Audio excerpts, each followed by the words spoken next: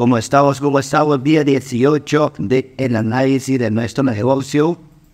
Vamos a analizar, siendo ya 11.51 de la mañana, hora Perú, vamos a analizar el día de hoy cómo es que está yendo el negocio, ¿sí? Entonces, aquí hay un detallito muy importante, que el día de hoy se apagaron varias campañas, perdón, se apagó una campaña, la serie de una campaña, pero eso afecta completamente al al rendimiento de la campaña, ¿ya? Y peor aún si es la serie que más vende. En este caso, justamente te quiero combatir eso.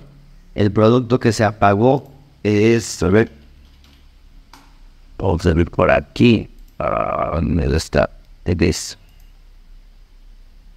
Listo, listo. El producto que se apagó aquí, en este caso, a ver, muestra por acá, el producto que se apagó es, en este caso, este producto. Por ejemplo, se apagó esta sede. Se apagó esta sede, primera sede. Este es un almacén, dos, segundo almacén y tercer almacén. En este caso, esto ya se mandó a pagar y posiblemente en unas horas nos manden a pagar este almacén porque tiene 37 unidades del producto y tiene 33 unidades del producto. Pero ¿dónde está la rabia? Que en el almacén principal tenemos 728 unidades y no es posible que aquí solamente nos quede 37, 37. Esto tienes que controlar. El control lo tiene que llevar tu personal de almacén, pero también tu personal de marketing. Entonces el área de marketing dice, oye, solamente me están quedando 50 o 100 unidades y esas 100 unidades me alcanza para dos días. Entonces, ¿qué es lo que tengo que hacer? Tengo que mandar pedir que envíen más productos a esta sede y a esta sede, ¿ok? ¿En qué caso sería pues muy interesante que hayan apagado la campaña o la sede cuando ya aquí no hay productos, aquí no hay productos y tampoco en el almacén principal hay productos? En ese caso sí.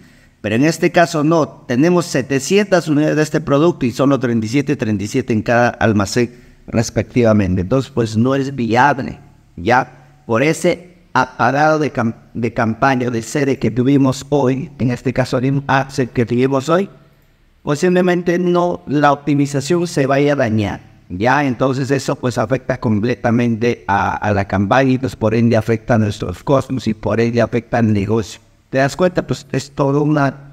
se desencadena varias cosas y eso es responsabilidad de quién? De cada almacén. Decir, oye, ya me falta, me falta productos, envían solamente me quedan 50, envían. Y también responsabilidad del área de marketing, estar pendiente de cuánto stock nos queda en ese almacén o de ese producto. ¿Listo? Entonces vamos a revisar la campaña del día de hoy, día 18 del negocio.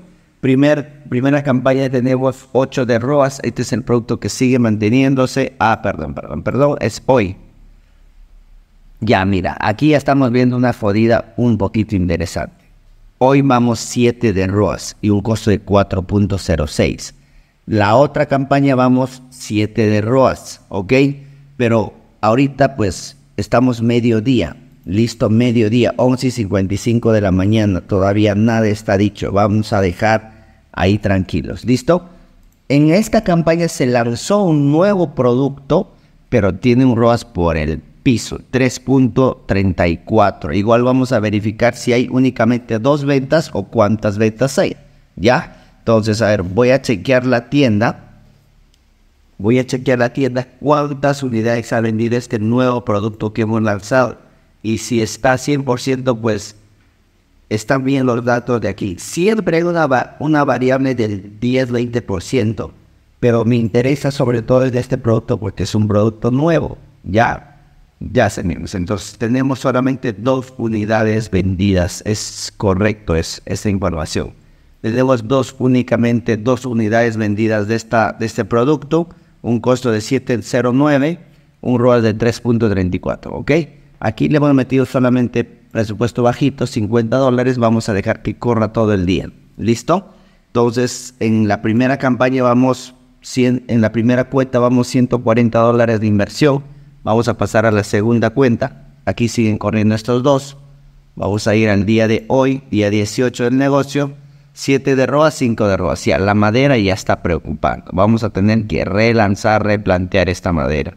Ya, este producto. Y este, este primero también ya está preocupando. ¿Listo?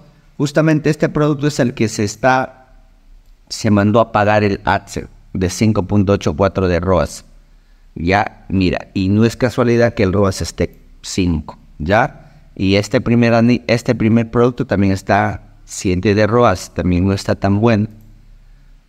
Vamos a ver en la nueva campaña cómo va, 7 de ROAS, sí. Entonces, podríamos decir que, mira, ¿te das cuenta? En un primer día que vaya mal, puede decir es un mal día. En un segundo día que vaya mal, puede decir que es la campaña que está un poquito. Pero ya tres días que estoy viendo de estar súper bien, estar mal, posiblemente sean ya los videos. Entonces, para el día de mañana, ya esta decisión ya está confirmada, es replantear todos los videos nuevamente. ¿Para qué?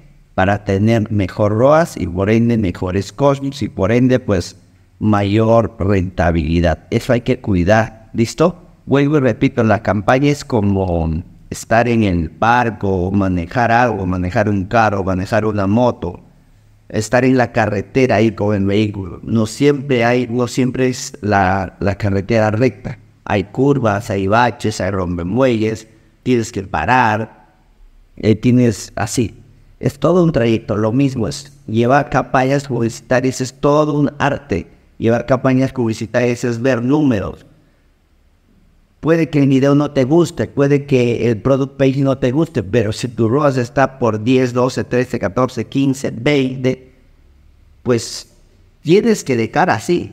O puede ser que te hayas enamorado de un producto, pero si tu ROAS dice que tienes 3 de ROAS, 2 de ROAS, 1 de ROAS, ¿qué tienes que hacer? Pues matar el producto porque no te está vendiendo, no te está rindiendo te está haciendo perder dinero. ¿Listo familia? Entonces con esto estamos terminando este día 18. El día de mañana estaremos analizando el día 19 y también viendo cómo ha terminado este día 18. ¿Listo?